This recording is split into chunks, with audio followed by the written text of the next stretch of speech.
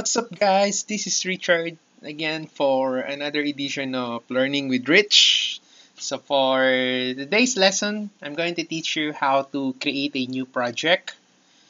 Okay, so as you can see, I have here some projects, right, that I have previously opened or that I have previously created. So these are the projects. So that is the term that we're using in Revit, so we call it project. And like in AutoCAD, we call it drawing. So when you say project in Revit, it is the entire building uh, system design and all the associated documentation.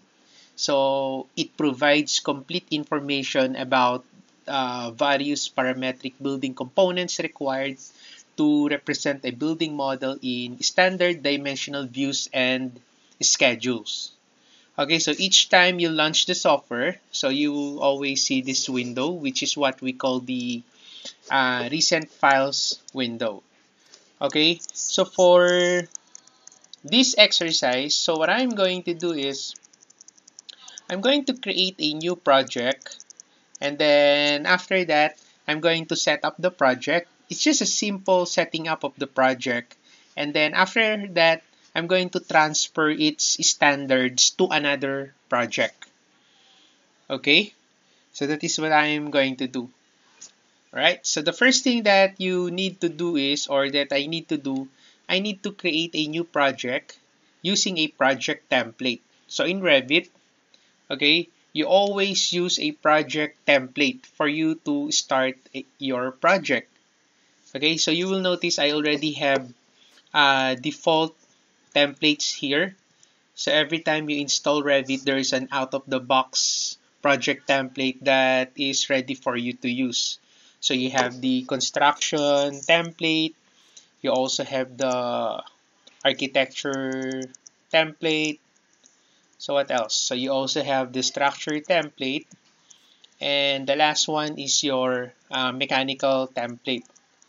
Okay, so these are the default templates that we can use. So for construction template, uh, you can use these views uh, and preloaded schedules specific to the construction industry. So for the architecture template, this is for new projects that require the complete uh, customization for architectural uh, project. So mechanical template for designing mechanical systems that includes additional levels and views for structural for structural project. Okay? So for this exercise, so I'm going to create a new project using our template or my template. Okay? So what I'm going to do is I'm just going to create a new project or I can select any of the template here. So since I'm doing uh, MEP, okay, Revit MEP, so I can select here mechanical template, but it will only show me mechanical. If I want to include the electrical system, so I'm going to create a new one. Okay, and then I'm going to browse. Okay, so the template that I'm going to use is this one, systems default metric. So if I use this template, as you can see, the extension file is RTE, template file. If I use this template, it will show me also the electrical systems on the project browser. So what do I mean? Okay, so I'm going to select this to create a new project. Okay, so systems default, I'm going to use that to create a new project and then okay.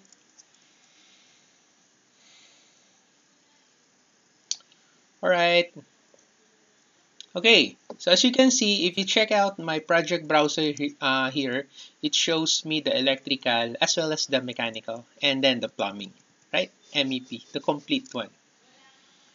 Okay, so after that, what I'm going to do is I'm going to organize, for example, the project browser. So to do that, okay, you can right click the views here and then you can select browser organization okay so this is how you modify your project browser so I uh, right click and then select browser organization and then you can see here the browser organization okay you can customize your browser organization. So let's say on my browser organiz uh, on my project browser, I want to show here the type and discipline. So I'm going to select this. Okay. And then after that, I'll try to edit. Okay, so I select edit. Okay, so let's say for the grouping and sorting, not the filter, but on my grouping and sorting, okay, so I'm going to verify that family and type is there, and discipline. And then after that, I want to add another uh, subcategory here under the discipline. So let's say I'm going to select here sub-discipline. Okay, so on my project browser, it will show me the uh, family and type, discipline, and then the sub-discipline. Okay? And then I'm gonna sort it by the view name. Alright, so after that, I just select OK and then check out what will happen to my project browser. So I select OK. There you go. You notice it's now changed to type discipline. So if I'm going to expand that, okay right? So it will show me this hierarchy. Uh, family and type discipline and then the sub-discipline. Okay and then after that the view name right? Because that is the one that I have set up on my uh, browser organization so grouping and sorting so I want to show the family and type family and type uh, the discipline, and then the sub-discipline. Okay? So this is uh, one way of modifying your project by uh, organizing your project browser. Okay, so aside from that, another way to set up your project, aside from modifying the project browser, you can also specify the project information. So let's say, what is the project information of your project? Okay, so to specify the project information of the project, okay, so what I'm going to do is I'm going to select the Manage tab, Manage tab, and from the Settings panel, I'm going to select here the project information. So I select the project information, and then this is now the project information dialog box, wherein you can specify the information of the project. Okay, so let's say, for example, I want to uh, place the address. Okay, so I'm going to select here the address. Okay. Right, so for example, the address is the, uh, example, the Autodesk address. So I'm going to select the ellipsis button. And then I'm keying here the Autodesk address. Okay, so I just type whatever address that you have there. Enter for second line. Okay. 94903. Enter USA. Okay, so there you go. So I, I now have the the project address. And then let's say I want to uh, specify the project issue date. So what's the date? Let's say this is my the date is uh, June 10 2016 project status. Let's say for example uh, work in progress. Owner is ABC project name P1234 underscore ABC okay and then project number 0123-0123. Okay, so after you specify the project information, so the next thing that I'm going to do is, so you just change the project information of your project. So every time you start a new project, okay, for information, okay. So I just select OK. So aside from that, you can also define the project parameters. So aside from the project browser, aside from the project information, you can also define the project parameters of your project. Okay, so to do that, from the Manage tab, okay, so this is how you create a project parameter. So I'm going to select here project parameters. Okay, so I'm going to add a parameter here. So I select add. Okay, so let's say for example, I want to create a para, uh, project parameter that is called view purpose. Okay, view purpose. The discipline is common and then I want this parameter to be text so that I can type the value. I can key in. I can text. And then I'm going to group it under uh, other parameter or other group. So I just select other here. Okay. All right. So this is an instance. Okay, so with the view purpose parameter that I just created, so I can organize the project browser so that the views are grouped according to their purpose. Like for example, a view purpose can be the analytical, construction documentation, working, or any other purpose that you specify to better organize the views in the project browser. Okay, and then from my categories here, I want to place my view purpose parameter on my views. Okay, on my views.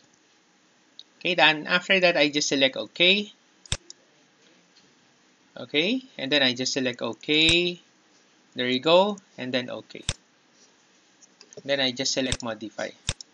So you will notice my view purpose now is here on the view properties. Okay, there you go. So there's the view purpose. So from here, you can type, okay, so you can type the value. It can be analytical, it can be construction documentation, okay? It can be what? Working, okay? Or any other purpose that you specify to better organize your view. Okay? Alright. So that's the view purpose. So you can type from here. So let's say, oh, my lightning. Ah, my lighting here. This is only my, uh, what? Analytical. So I can type analytical. Okay, so analytical.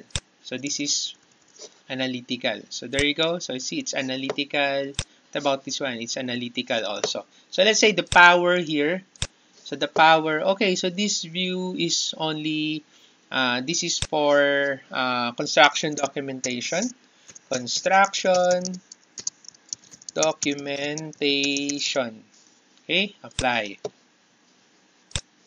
Construction documentation. Okay, right? So let's say, for example, these two here, I want to place that also to analytical. Since I already key in the analytical, I can just click the drop down arrow here and then select analytical.